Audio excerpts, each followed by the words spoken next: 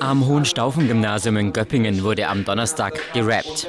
Im Rahmen des Modellprogramms Kulturagent für kreative Schulen haben zwei Rapper dort die 7b besucht, um der Klasse ihre Musikrichtung näher zu bringen. Wir machen heute einen Rap-Workshop, Rap-Balladen mit äh, Toba Borke und äh, Viel, aka Philipp Scheibel. Das sind zwei berühmte Baden-Württemberger Rapper aus Stuttgart und äh, unsere Kulturgruppe hier hat mit den Schülern zusammen entschieden, dass sie gerne rappen wollen, dass sie auch Beatboxen wollen und das im Deutschunterricht sozusagen. Also das Themen des Deutschunterrichtes mit Künstlern spannend neu interpretiert und erschlossen werden. Nicht nur deutsche Literatur wurde zum Rap umgewandelt.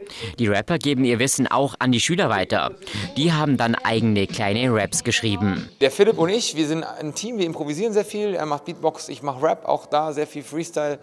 Und was wir jetzt machen, ist ähm, in heilsamer Strukturlosigkeit ähm, ein bisschen Kreativprozesse anschubsen und eben die Kids zum Schreiben bewegen und auch zum Beatboxen und zu versuchen, ein bisschen Funk in den Schulalltag zu bringen. Der Rap-Workshop sollte den Schülern aber nicht nur einen Einblick ins Rappen geben und den Unterricht abwechslungsreicher gestalten.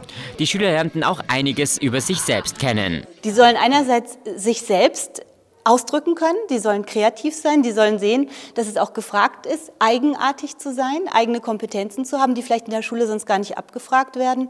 Sie sollen im Prinzip gefördert werden, indem sie Freiräume bekommen. Sie dürfen ihre eigenen Texte formulieren, aber in einem geschützten Rahmen und sie bekommen Skills. Also sie lernen jetzt und wir noch am Rande eben, wie man Beatboxt und wie man rhythmischen Text vorträgt. Am Freitag geht der Workshop dann weiter. Die fertigen Raps wird die 7b dann um 18 Uhr vortragen und dazu Beatboxen. Jeder, der sich selbst darüber ein Bild von den erarbeiteten Werken machen will, ist dazu recht herzlich in den Musiksaal des Hohenstaufen-Gymnasiums eingeladen.